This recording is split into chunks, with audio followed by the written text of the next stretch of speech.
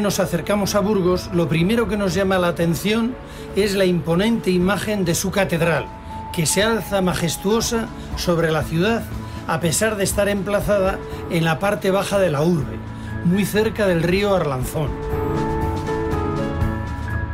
Ahora, al cabo de 15 años de trabajos de restauración y limpieza, se nos muestra en todo su esplendor.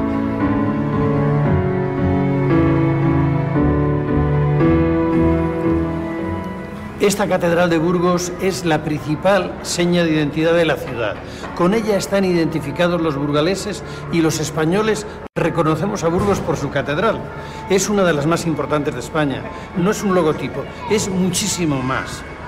El corazón de la ciudad, el alma de la ciudad, el espíritu de la ciudad. Y bueno, no en vano, es patrimonio de la humanidad.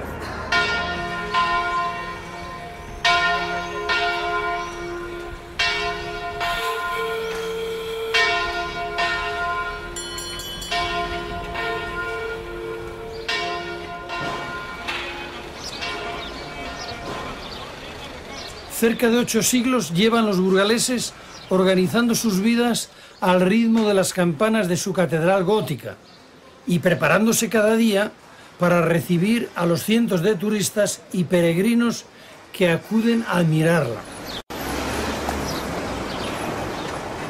Anteriormente había otra catedral, más pequeña, de estilo románico. Fue el rey castellano-leonés Fernando III el Santo quien quiso tener una catedral más majestuosa, una como la de su primo, el rey San Luis de Francia. Contó para su proyecto con la complicidad entusiasta del obispo Mauricio, gran obispo de la diócesis burgalesa. Este obispo había hecho estudios de derecho en Francia. Durante su estancia había visto en vivo construirse la Catedral de Notre Dame de París, levantada con la gracia y la elegancia de aquel estilo nuevo que se había forjado en aquellas tierras francesas y que hoy llamamos el gótico.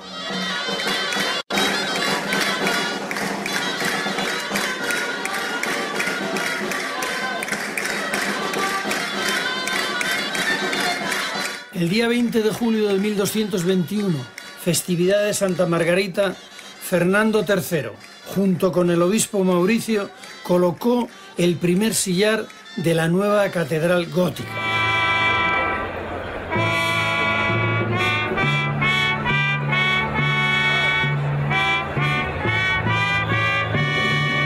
Por aquel entonces, el comienzo de una obra de estas dimensiones era una aventura incierta. Se conocía el comienzo, pero casi nunca su terminación. Afortunadamente, aquel momento inaugural quedó plasmado en piedra. En uno de los pilares del claustro hay una representación de tres personajes que es posible que sean el rey Fernando, el obispo Mauricio y el canónigo Fabriquero.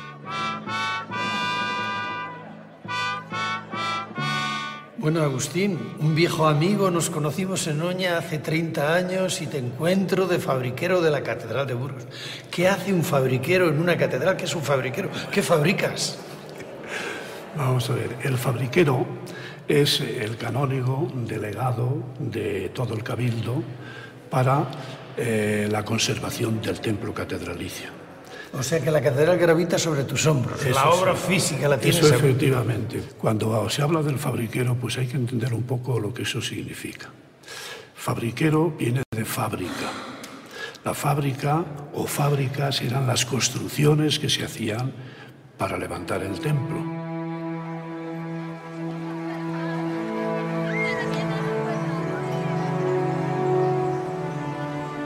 Antes de comenzar las obras, el canónigo fabriquero debía enfrentarse a varios problemas.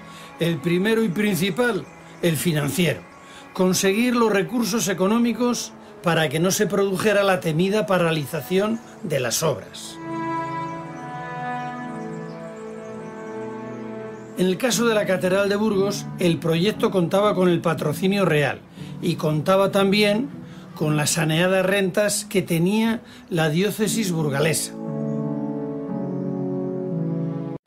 Otro problema que tenía que resolver el fabriquero era elegir bien una cantera capaz de proporcionar la enorme cantidad de material que iba a tener que suministrar a lo largo de muchos años. Evidentemente, el elemento fundamental de una catedral, la materia prima sustancial, es la piedra. Por lo tanto, de la correcta elección de la cantera se deriva una gran economía y la posibilidad de hacer una catedral en tiempo y en condiciones. ¿Por qué lo digo? Por el transporte, fundamentalmente. Imagínense lo que era en aquellos tiempos transportar en carreta esas ingentes cantidades de piedra. Por eso, para ver de dónde salió la piedra de la Catedral de Burgos, nos vamos a ir a la famosa cantera de Ontoria, el pueblo de Ontoria que tiene el nombre de Ontoria de la Cantera. Muchísimas gracias por esta, esta hospitalidad en las entrañas de la tierra donde cabe la Catedral de Burgos dentro de aquí. Es decir, podemos decir que estamos en el vacío que ha dejado la Catedral de Burgos. ¿No es maravilloso? Pues hombre, sí, más o menos sí que el vacío este será proporcional a la Catedral de Burgos. ¿Cómo transportaban la piedra? ¿Qué distancia tenemos de aquí a Burgos? Pues de aquí a Burgos había 23 kilómetros. Lo llevaban en bueyes. Cuando llevaban bloques y carretas de bueyes. ¿Los sillares de la catedral los preparaban a pie de cantera o llevaban la piedra en basto? Normalmente eh, se cortaban con bacaladas. una bacalada es un serrote como los de madera y entonces se iban cerrando los bloques y se llevaban ya prácticamente hechos. ¿Y cuántos, cuántas eh, carretadas de piedra pudieron llevar? Pues ¿Cuántos sillares? ¿Cuántos millones pues de sillares? Pues hombre, si la catedral más o menos tiene unos 5 millones de sillares aproximadamente, que igual tiene 6, pues 10 eh, veces menos. O sea, que un una carreta o eso podía llevar 10, 10 bloquecillos, eh, eh, pensando que pesarían 200 eh, kilos o 250 kilos los sellares, pues te podría llevar 2.000 kilos, 3.000.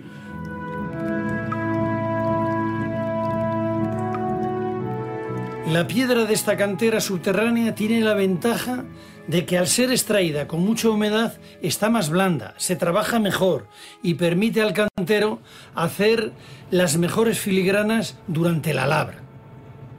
Después, con el paso del tiempo y en contacto con el aire, al ser una piedra muy caliza va creando en la superficie una capa de carbonato cálcico que la endurece considerablemente.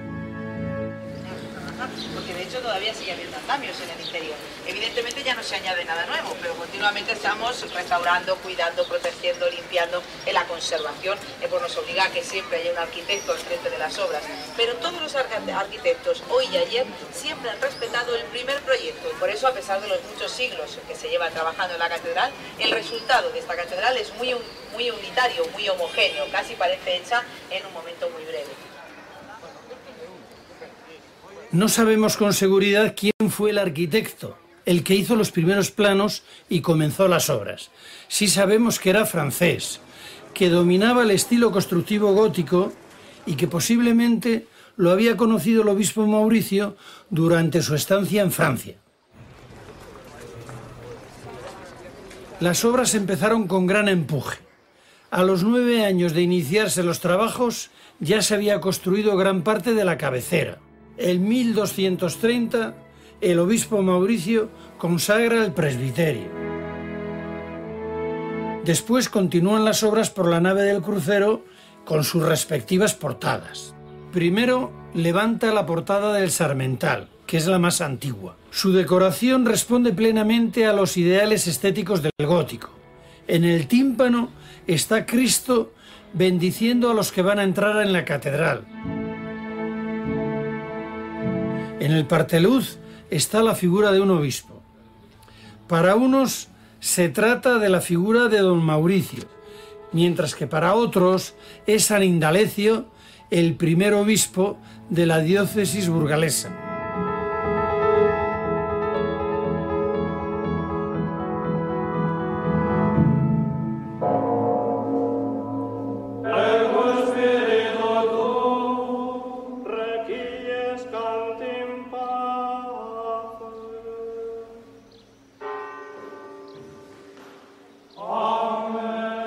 1238, a mitad de las obras, muere el obispo Mauricio.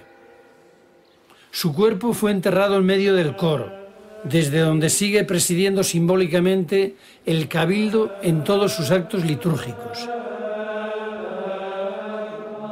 La iconografía de la catedral indica que Mauricio ascendió a los cielos.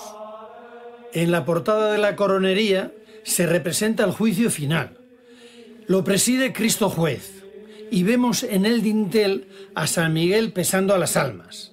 A la derecha están los condenados, a la izquierda, tras la puerta de la gloria, están los que van al cielo, dos frailes, un rey y una reina, y un obispo, al que le falta la cabeza.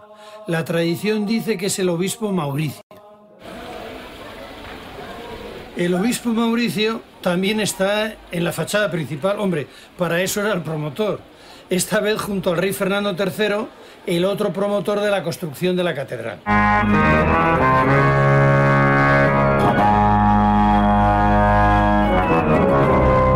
En 1260, casi 40 años después del comienzo de las obras, se consagra solemnemente la catedral y se pone bajo la advocación de Santa María. Para entonces ya estaría realizada gran parte de la estructura, aunque no acabada del todo. Es en esta época cuando el maestro Enrique, también francés, se hace cargo de la dirección de las obras. Se estaría entonces acabando la portada de la fachada principal que se conoce con tres nombres diferentes. Portada de Santa María, por estar dedicada a la Virgen, Puerta Real, porque era por donde entraban los reyes, y Puerta del Perdón. Esto que ven es una maqueta que interpreta cómo debió ser en sus inicios. Desgraciadamente, la portada original fue desmontada debido a su deterioro a finales del siglo XVIII y fue sustituida por la que podemos ver ahora.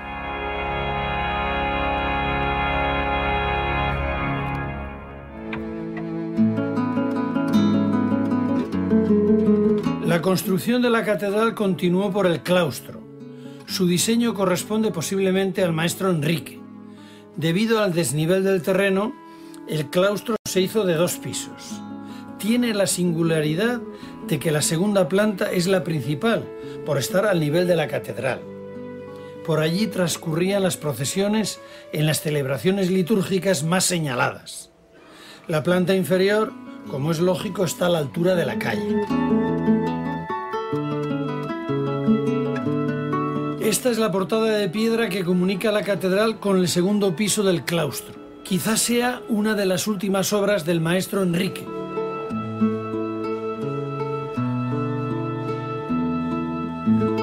Como está en el interior del templo, ha conservado en buena medida la policromía original.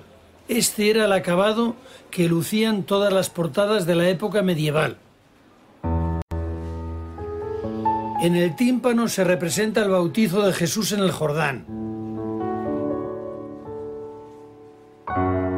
Esta curiosa cabeza, que asoma para ver las escenas bíblicas de la portada, es la cabeza de San Francisco.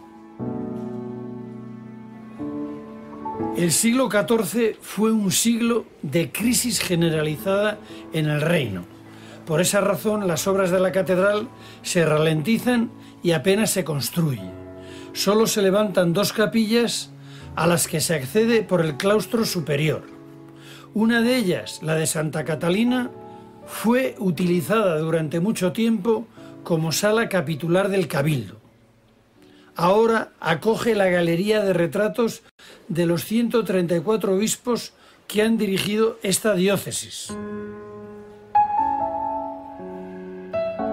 La otra construcción que se lleva a cabo en el siglo XIV es la capilla funeraria del Corpus Christi.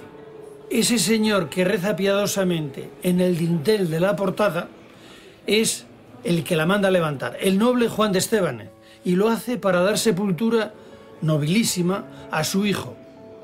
A partir de este momento, los nobles castellanos levantan capillas privadas para albergar sus sepulcros. Esto va a suponer una nueva fuente de ingresos para la catedral y una proliferación de capillas que se irán construyendo a lo largo de las naves del templo.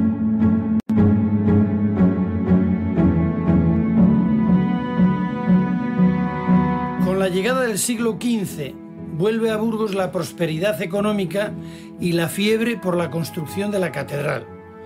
Una vez más es un obispo viajero, don Alonso de Cartagena, enviado por el rey a Alemania como embajador.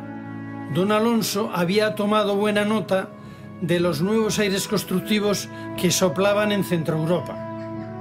De allí se trajo al arquitecto Juan de Colonia que dio un vuelco a la silueta de la catedral.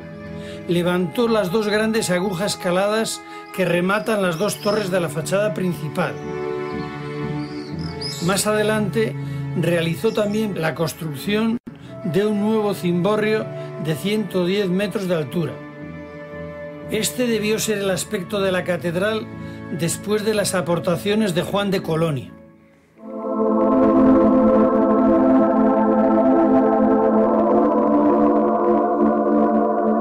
Maestro Juan de Colonia, que se estableció en Burgos con su familia, realizó también en la catedral, para el obispo Cartagena, la que fue la primera gran capilla funeraria privada de un prelado, la capilla de la Visitación. La escultura yacente que ha perpetuado la imagen de Alonso de Cartagena es de Gil de Siloé.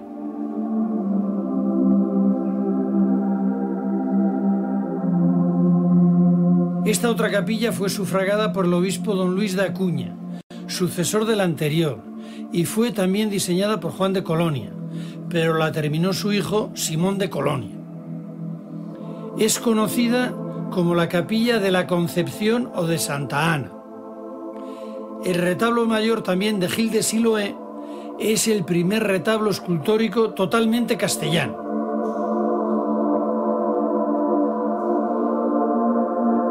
En él podemos ver al obispo Acuña, promotor de la capilla, celebrando un acto litúrgico. Su evidente afán de inmortalidad, tanto en el cielo como en la tierra, le llevó a encargarse un sepulcro de alabastro que esculpió Diego de Siloé, hijo de Gil.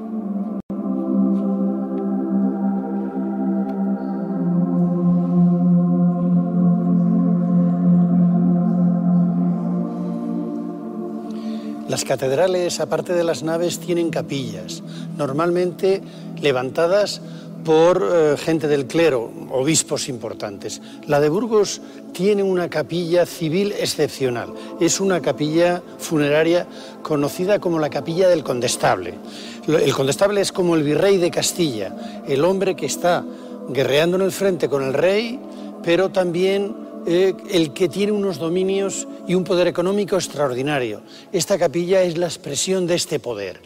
Él, eh, don Pedro Fernández, y de Velasco y su esposa doña Mencía erigen esta capilla buscando un gran arquitecto, Simón de Colonia. Y mm, bueno, se empotra en la catedral, es como una segunda catedral. Está en el ábside de la catedral, destruye la capilla precedente y hace una capilla de una calidad extraordinaria. No solamente desde el punto de vista arquitectónico, sino que también tiene un extraordinario programa iconográfico, tanto en piedra como en los retablos de madera. En realidad, ellos están enterrados aquí y han conseguido la inmortalidad a través del arte. La capilla del Condestable compite con la catedral en majestuosidad y en recursos artísticos. Toda ella rezuma poder y arte. Parece estar hecha para que desde su tumba don Pedro y doña Mencía puedan seguir disfrutando plácidamente de la contemplación de la belleza terrenal. Quizá por eso la señora, auténtica promotora de la capilla, se ha llevado con ella a su perrito de compañía. Se cree que la extraordinaria labra de la estatua yacente de los condestables la hizo el escultor francés Felipe Bigarni, más conocido en el Burgos de su época como el Borgoñón, que realizó numerosos trabajos para esta catedral.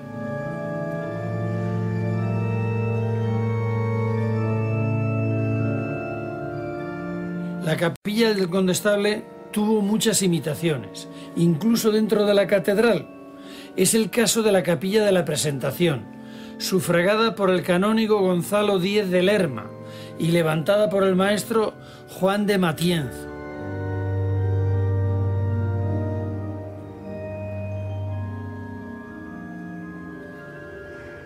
Lo más llamativo de esta capilla es el sepulcro exento del canónigo, que realizó Felipe Vigarni cuando vivía aún don Gonzalo. El borgoñón, que no paró de trabajar en la catedral, realizó también los relieves del trasaltar y la sillería del coro.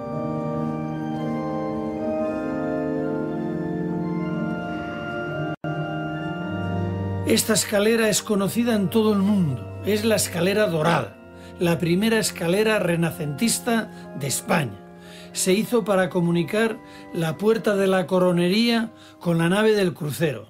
Actualmente no se utiliza. La Catedral de Burgos está enclavada en la colina del castillo y había un gran desnivel entre el barrio alto y la parte baja de la ciudad. Los habitantes del barrio alto o del barrio bajo utilizaban la catedral como atajo y pasaban a través de una escalera medieval en un principio, pero era una escalera muy incómoda. En el Renacimiento se hace un alarde de escalera. Esta de Diego de Siloé salva un gran desnivel y es una pieza renacentista extraordinaria, porque consigue, pegadito a la pared, con una escalera muy cómoda, sin que se note, hacer una extraordinaria composición arquitectónica y funcional, que es esta, famosísima escalera de las más bellas escaleras del mundo.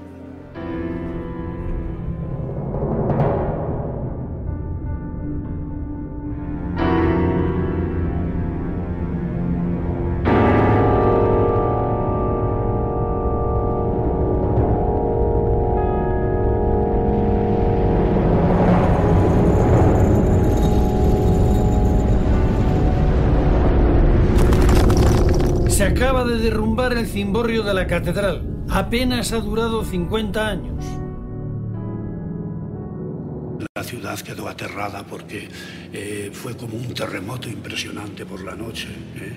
Fue una noche del 3 al 4 de marzo del 1539 y aquello fue algo verdaderamente catastrófico. se sabe si hubo Entonces la gente se levanta, ve cómo ha quedado la catedral y aquel mismo día ¿eh? ya todas las fuerzas de la ciudad se juntan para decir, hay que reconstruirlo de nuevo y hay que hacer aquí una obra verdaderamente fantástica. En muy poco tiempo se, se hace el desescombro de casi una tercera parte de la catedral que se ha hundido. Y ya eh, al año siguiente, en 1540, la obra está en plenitud ya realizándose. Pero es una obra tan fantástica que tarda en realizarse casi 30 años. La catedral tardó 39 años solamente.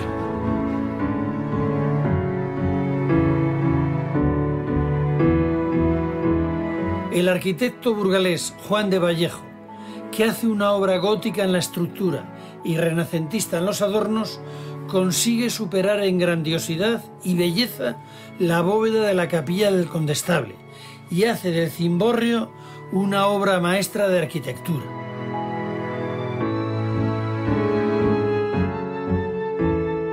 La bóveda estrellada permite el paso de la luz cenital al interior del crucero. Justo debajo, en el centro del crucero, está la tumba del Cid y doña Jimena, que fueron trasladados aquí en los años 20 del siglo pasado. Durante la construcción del cimborrio y en general durante el siglo XVI, Burgos vive un buen momento económico. Las obras se benefician de esta situación y fueron muchos los artistas, sobre todo escultores, que acudieron a la catedral para ofrecer sus servicios. Lo atestigua la profusa decoración del cimborrio tanto en el interior como en el exterior. Contemplado de cerca, parece más una obra propia de orfebres que de canteros. En estas imágenes podemos apreciar la calidad y la precisión de la labra. Los maestros dejaron aquí, sobre la piedra de Ontoria, una muestra de su oficio y de su maestría.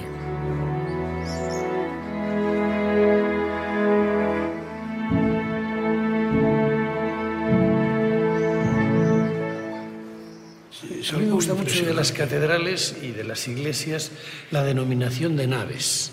La nave va mucho con la simbología de la iglesia. Sí, sí, sí. Los cristianos están haciendo la gran travesía desde el litoral de este mundo al puerto eterno del cielo. ¿no? Entonces, todo eso se hace en una nave. ¿eh? que está recordando siempre al Evangelio de Cristo, que Cristo va con los apóstoles en la nave ¿eh? ¿Eh? y que les defiende de las tempestades. Como hizo Zobra. Claro. Sálvanos, Señor, que perecemos. Que perecemos, efectivamente. Entonces la Catedral de Burgos en ese aspecto yo creo que es única. Es única, es verdaderamente maravillosa, porque tiene, eh, como se ve, eh, las torres, eh, que son como el velamen, y eso sería la popa, pero luego tiene la proa, que va adelante la proa es verdaderamente magnífica, ¿eh? y la, cubierta, ¿eh? que está toda rodeada de ángeles, ¿eh? en lugar de haber pináculos encima de los, de los contrafuertes, hay ángeles. Es la única catedral de, Europa que tiene eso, y entonces toda rodeada de ángeles, que van conduciendo la nave y defendiendo a babor y a estribor la, la nave de la iglesia. Pero luego tiene la torre de mando, que es el crucero.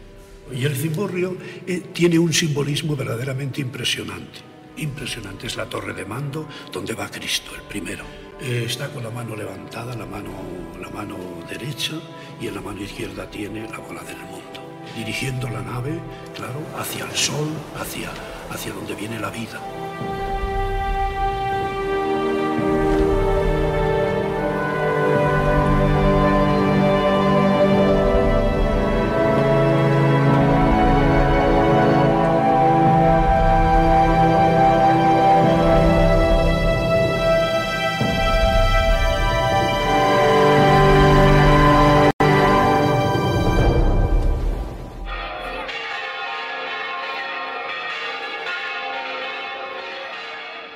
Durante las fiestas mayores que se celebran todos los años a finales de junio, los burgaleses se dirigen de nuevo a la catedral para rendir culto a sus protectores.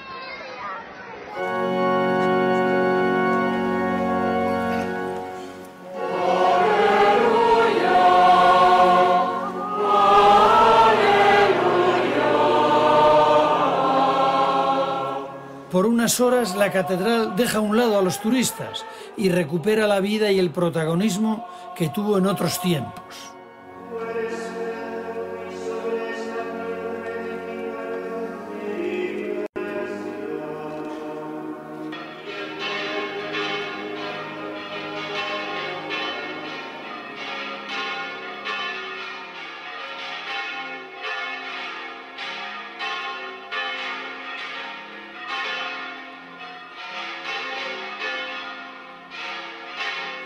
Vamos a tener la oportunidad única de asistir a la bendición de una nueva campana de la catedral. Ha sido bautizada con el nombre de Santa María la Mayor y sustituye a otra llamada Asunción que se desprendió del yugo que la sujetaba.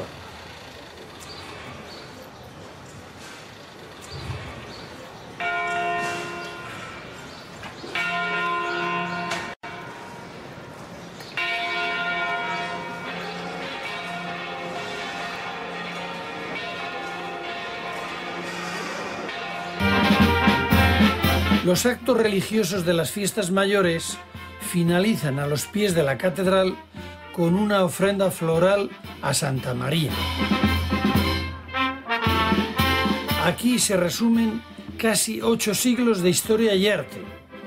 Este es uno de los monumentos más importantes de nuestro patrimonio histórico artístico. Todos los estilos artísticos están representados aquí a lo largo de 800 años han dejado aquí su obra algunos de los mejores arquitectos, escultores, pintores, orfebres. Y aún siguen dejando su huella. Ahora, y después de 15 años de intenso trabajo, se está finalizando un proceso de restauración integral.